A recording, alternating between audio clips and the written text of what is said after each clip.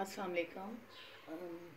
Nursery class की teacher हूँ और आज हम जो पढ़ाई करेंगे, जो लफ्ज़ हम पढ़ेंगे, वो हरूफ है ब। क्या है? ब। और बुक पे पेज नंबर पाँच है। बुक पर पेज नंबर पाँच। और उसमें ब है, पहले लफ्ज़, पहला लफ्ज़ क्या है? ब। ब से फिर हम पढ़ेंगे जो चीज़ें ब हरूफ ब से बनती हैं। हरूफ, ब से जो चीज़ें बनती हैं, वो कौन कौन सी हैं? जैसे सबसे पहले है, ब बतख। क्या है? ब बतख ब, बिल्ली, क्या है ये? ब, बिल्ली, फिर ब, बाजा ब, बाजा। अब यहाँ देखिए, ब बड़ा वाला ब भी है और छोटा ब भी है। तो हमने दोनों ब पढ़ने हैं, छोटे बड़ी जैसे, छोटी बड़ी हरूफ हजी है। तो उसके साथ हम ये दोनों पढ़ेंगे, ब और छोटा, बड़ा ब और छोटा ब।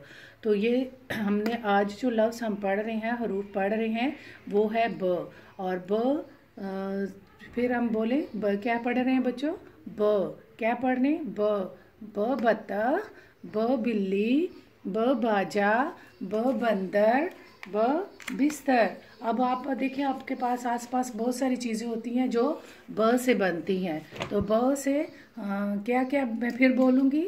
ब से बत्तख है ब से बंदर है ब से बिस्तर ब से बाजा, ब से बिल्ली। क्या क्या पढ़ा हमने? ब।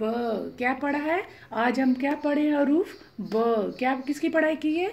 ब। अब ये पेज नंबर, जो बुक पे है, वो सफ़ा नंबर पाँच पे पे है।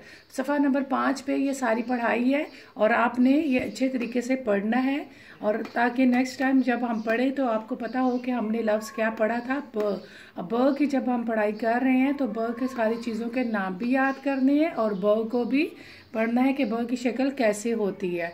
अब हम, फिर मैं बोलूँगी, ब, क्या है ये? लफ्स क्या है? ब, क्या कहते इसे?